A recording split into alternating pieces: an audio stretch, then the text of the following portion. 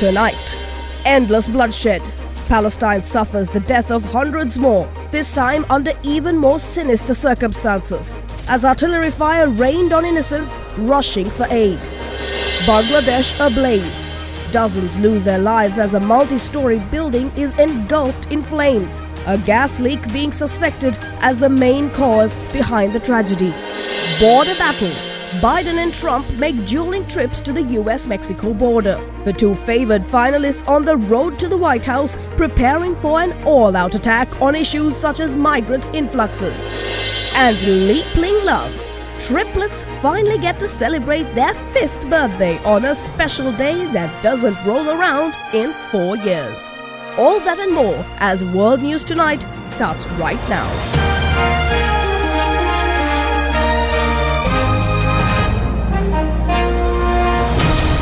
This is Ada Derana World News Tonight. Reporting from Colombo, here's Anuradhi Vikramasinghe.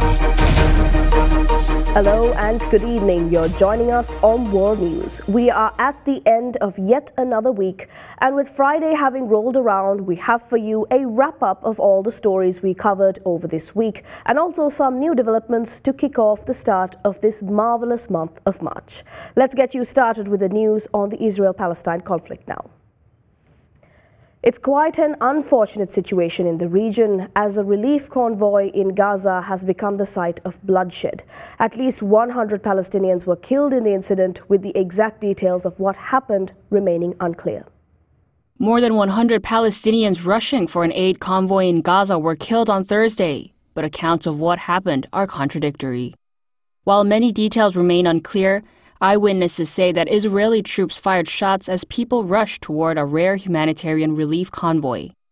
Palestinian officials said many people brought to hospitals had gunshot wounds. However, Israel stated that the death toll is largely due to a chaotic stampede and that shots were only fired as warning shots when the crowd approached them.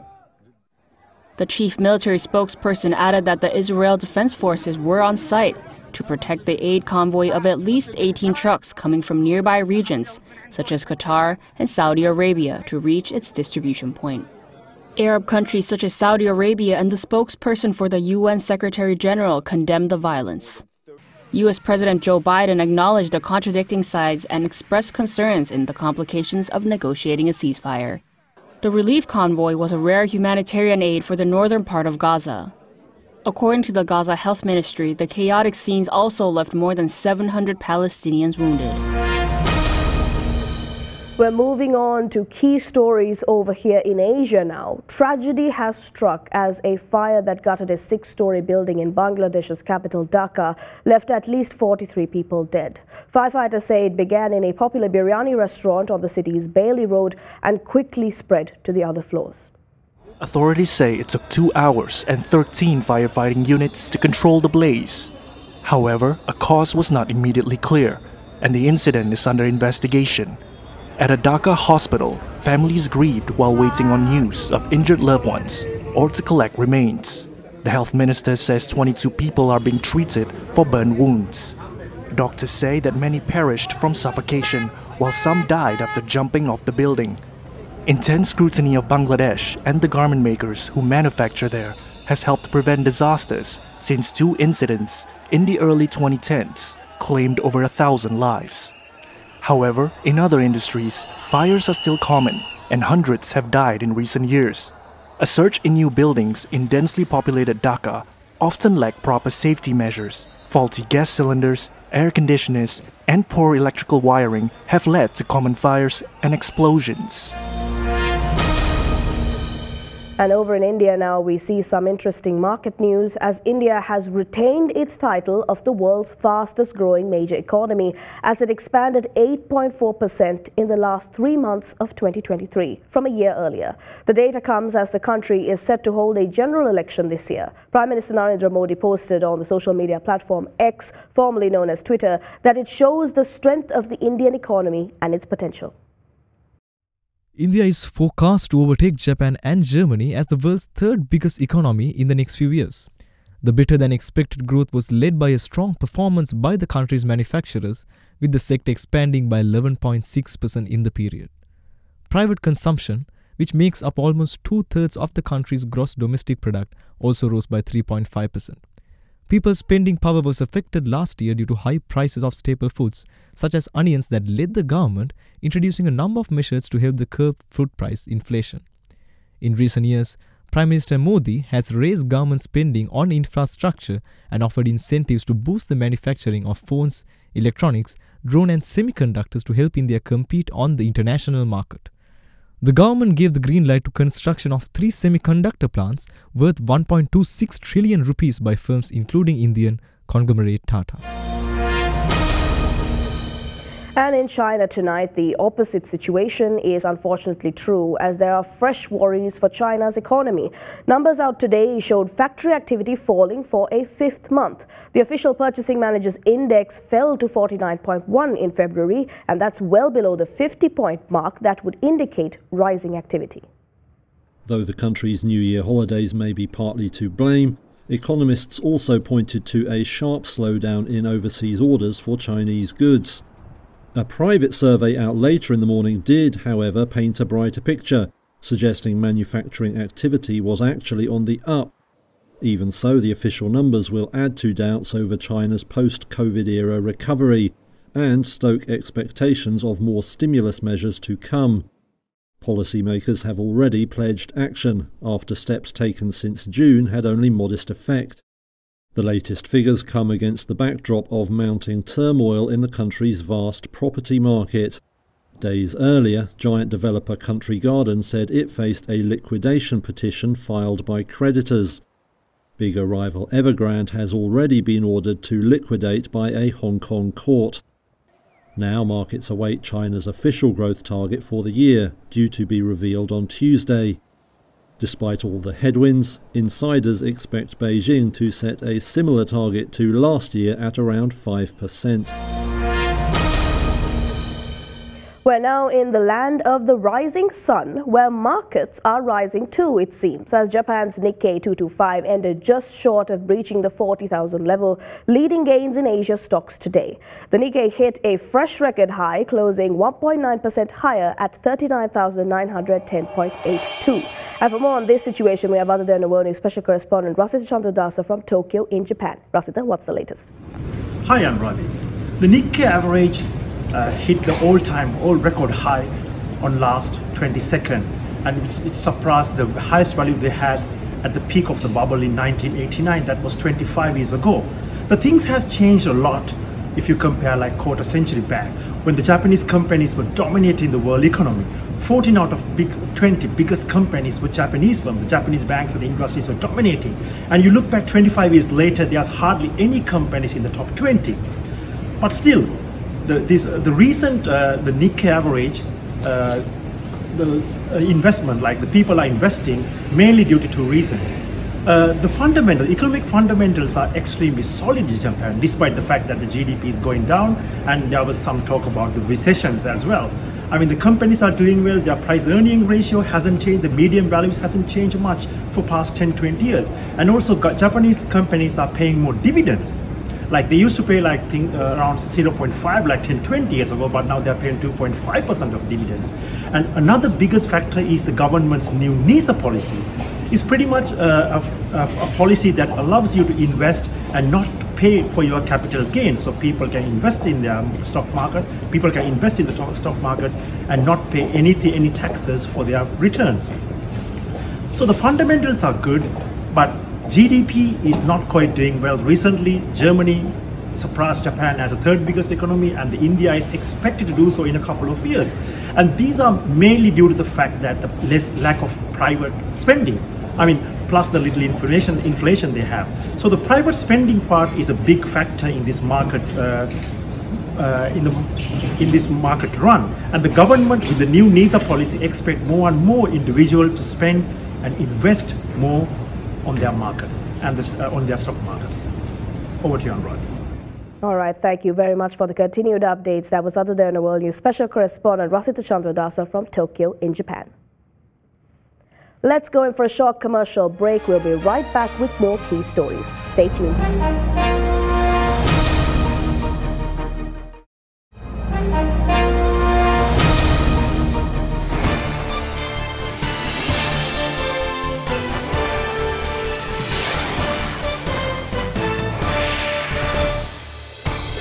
And on the road to the White House tonight, U.S. President Joe Biden and his likely election opponent Donald Trump made dueling trips to the U.S. Mexico border. The competing trips to southern Texas come as border security is now a top issue for voters, with a large majority of Americans listing illegal immigration as the most important problem facing the country.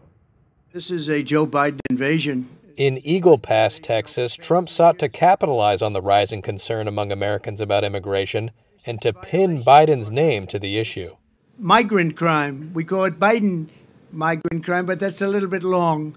So we'll just leave it. But every time you hear the term migrant crime, you know where that comes from. In Brownsville, Texas, Biden sought to shame Republican lawmakers for rejecting a bipartisan bill to toughen immigration policies after Trump told them not to pass it to avoid giving Biden a policy victory.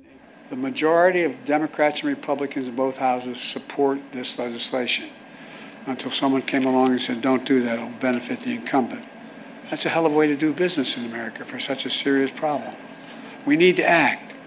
Under pressure from Republicans who accuse him of failing to control the border, Biden called on Congress last year to provide more enforcement funding and said he would, quote, shut down the border if given new authority to turn back migrants. The number of migrants caught crossing the U.S. Mexico border illegally hit a monthly record of 250,000 in December, but dropped by half in January, a trend U.S. officials attribute to increased Mexican enforcement and seasonal trends. Now, the biggest day of primary elections, also known as Super Tuesday, is seen as Nikki Haley's last chance to stop former President Donald Trump as he bulldozes his way to the Republican presidential nomination and a rematch with Democratic President Joe Biden. Here's what you need to know about Super Tuesday. March 5th is the day in this year's primary cycle when the most states vote. 15 states and one U.S. territory will hold Republican nominating contests, with more than a third of the party's delegates up for grabs. That includes delegates from the two most populous states, California and Texas, where opinion polls show Trump to be an overwhelming favorite. Trump can't officially clinch the nomination on March 5th, as he needs more than 1,200 delegates to do so, but Super Tuesday could be decisive. As for the Democrats, President Joe Biden is a shoe in for the nomination. Long shot bids from U.S. Congressman Dean Phillips and self help guru Marianne Williamson, who said she was, quote, unsuspending her campaign after dropping out of the race three weeks prior, are not seen as major challenges to Biden. About a third of Democratic delegates will also be decided on March 5th, with nominating contest held in 14 states, plus American Samoa. Super Tuesday is also the final day for Democrats in Iowa to mail in their ballots in that state's caucuses. Now, I want to be clear. In the Republican race, Nikki Haley has no clear path to beating Trump, and Super Tuesday could be her last chance to at least slow the former president's path to the nomination. Trump swept all six Republican nominating contests leading up to Super Tuesday, including in Nikki Haley's home state of South Carolina. There is a choice. Haley has vowed to stay in the race and will crisscross the country with an aggressive travel schedule leading up to the big day. North Carolina will be closely watched, as it's one of the potential battleground states that could decide the November general election. Trump won the state in 2020 by just over a single percentage point. The state also allows voters who are unaffiliated with a party to participate in any primary they choose, which could boost Haley's performance given her strength with independent voters.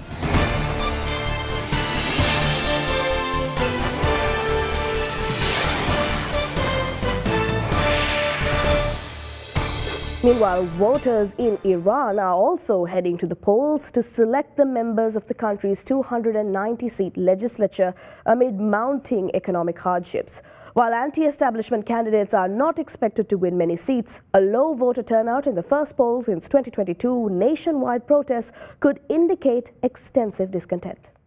Here in the aisles of the Grand Bazaar, shoppers browse without opening their wallets. Crippling inflation, low growth, and international sanctions are plaguing Iran's economy and hitting citizens hard. As a show of the political significance of consumer prices, the country's supreme leader Ayatollah Khamenei even named this Iranian calendar year the Year of Controlling Inflation. After topping 50% last year, the year on year consumer price index now sits at around 36%, according to the National Statistics Centre. Meanwhile, the Iranian currency, the rial, is plunging, with the war in Gaza worsening the decline. This, coupled with the rise in political and economic uncertainties, has spurred many Iranians to buy physical assets to protect against losses, such as a home, jewellery, or even an iPhone.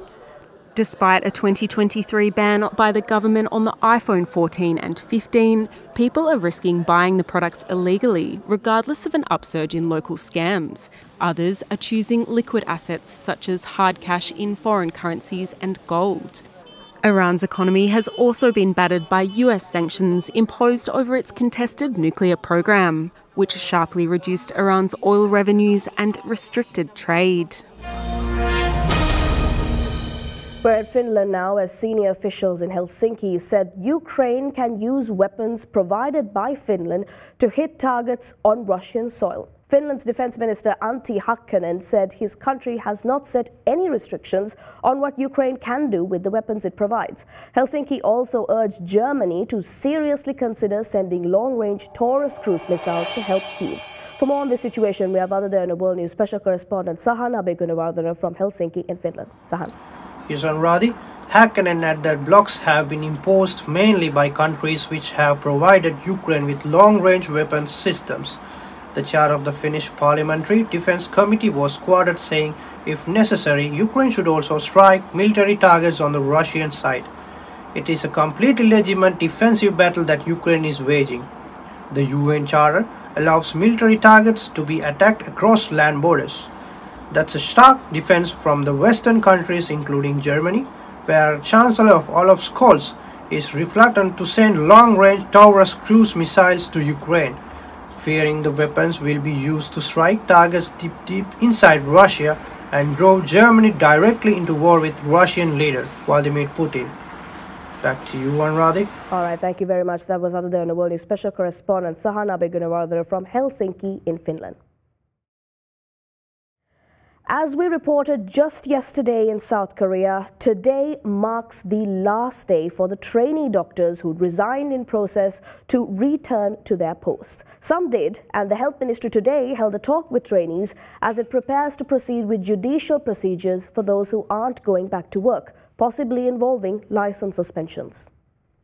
Thursday was the last day for the resident doctors in the country who left their posts in hospitals in protest of the medical school enrollment quota increase to return to duty without bearing legal liabilities.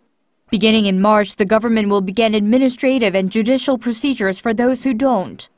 Second Vice Health Minister Park Min-soo has previously warned that the ministry would, quote, follow the laws and principles according to the current Medical Service Act to penalize medical professionals not complying with the government's order to return to work. He said measures such as medical license suspensions of at least three months or official indictments are inevitable. Up until Thursday, the ministry's inspection teams have been checking the statuses of doctor absences. From this point on, the ministry will notify individual doctors of their failure to follow the duties outlined by the law and the corresponding legal consequences. During the process, doctors will have a chance to defend themselves through statements of opinion. Meanwhile, the health ministry invited resident doctors for a closed-door meeting in Seoul on Thursday afternoon. The ministry has yet to announce the exact number of doctors who attended, only stating that at least one did. Following days of government return to work orders, some trainee doctors returned to their posts.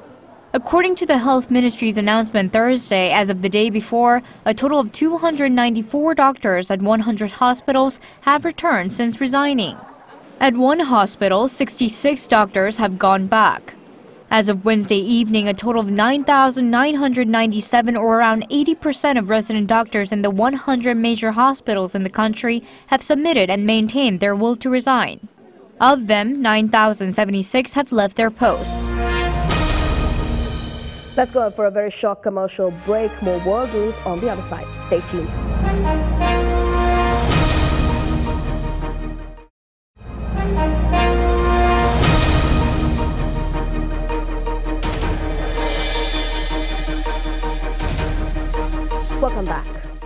Future, would you feel safer if it was a human that operated on you or a machine? Well, topics like these were explored at the Barcelona Mobile World Congress, where cutting edge tech met the intricacies of advanced medicine. This is an AI assisted high precision surgical robot. It applies sensory feedback to the surgeon during critical moments of surgery and is one of the many cutting edge health technologies on display at the Mobile World Congress Fair in Barcelona this year. Now we are talking about robotic surgery, but the next future is the digital surgery. Tech companies are fighting for their spot in medicine. And the talk of the town this year is artificial intelligence. Jaume Amat Riera is the CEO and founder of Rob Surgical. One of the main weakness of the robotics is that the, the surgeons they cannot work with the sensorial feedback because they are uh, they are managing the instruments with the control since the console. So with our new artificial intelligence tools, we provide again this sensorial feedback to the surgeon, so the surgeon they could feel when they are touching the, the, the, the tissues. He said the combination of robotics, AI tools, and diagnostic imaging would improve safety and precision.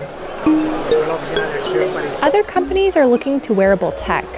In cases where a patient has a stroke, this headband can instantly monitor their brain status. For medical technicians, these AR glasses bring specialists from around the world into their ambulances. We have uh, AR glasses on the emergency medical technician, so he can do a video conference with a doctor or surgeon on the way to the hospital to get expert advice on how to treat the patient. And he also can see, or she, can see vital signs of uh, heartbeat and blood pressure in those glasses, so he doesn't have to look away from the patient. Companies are hoping the buzz around AI will boost business prospects. Many here would argue its application in the healthcare sector can improve medical capacities and offer advantages to both staff and patients. But many experts caution AI technology can raise legal and ethical concerns. And finally, tonight, just last night, we marked a very special day, the 29th of February, or Leap Day as we call it. And we brought to you the story of two sisters who were keen on celebrating their very special birthday. Well, tonight we have for you yet another, arguably more special story triplets that were born on the 29th. What are the odds? Well, here's their story. I'm five years old. I'm five years old. I'm five years old. These triplets don't look like they're in kindergarten, but the calendar says they're turning five today. Harris, Elizabeth, and Andrew Rowe were born on February 29th in 2004, a leap year. So technically, their birthday comes only once every four years. So today is a big day. Out of 8 billion people on planet Earth, only 5 million share a leap day birthday. They are known as leaplings. I'm a leapling. I'm a leapling. I'm a leapling. And so are these guys. These leaplings are so excited for their leap year birthday, 70 of them booked a Caribbean cruise so they could celebrate together. They say only fellow leaplings understand the chaos of having a birthday that falls just once every four years. Today they're celebrating with these happy Leap Day birthday cakes with only one candle to avoid any confusion. We're leap year babies! Leaplings, siblings, triplings? Either way, they fall into a very special niche, and this must have been a great birthday year. Well, that's all the stories we have for you this Friday night. We'll see you again on Monday with more updates on the happenings of the world. Thank you for watching. Have a great weekend.